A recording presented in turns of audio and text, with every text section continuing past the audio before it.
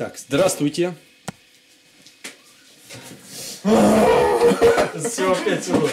Добрый день, а, уважаемые наши зрители видеоканала Планета Дзюдо. И с вами снова в эфире наша группа размышлителей.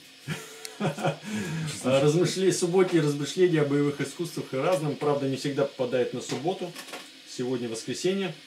Во-первых, всех э, собравшихся здесь и всех, кто нас видит, я хочу по традиции, ну, она уже есть, это вошло уже в культуру всего мира, э, да, как бы перелистывание итога, да, и Новый год, и исчисление. Все, конечно, может быть, по-разному как-то это от- отмечают, но есть такое общепринятое, уже культурное, наверное, достояние такое, да, все-таки. С 31 на 1 отмечать новый виток временной.